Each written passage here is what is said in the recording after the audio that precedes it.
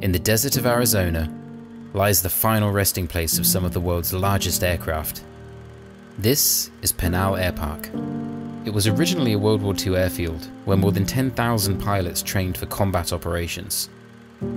Today it serves mostly as a storage, maintenance, and recycling facility for the airline industry. This flight experience will take you over hundreds of airliners from across the globe. There are many more flight experiences on the way, so please consider subscribing to the channel if you enjoy today's flight.